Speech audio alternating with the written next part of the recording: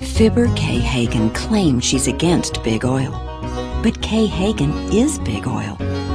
Each time you buy gas, her cash register goes ka-ching. Kay and her husband own multiple oil and gas wells in Kansas, Oklahoma, Indiana, West Virginia, Ohio. But Kay is against offshore drilling. Must not own any of those. I'm Elizabeth Dole, and I approve this message.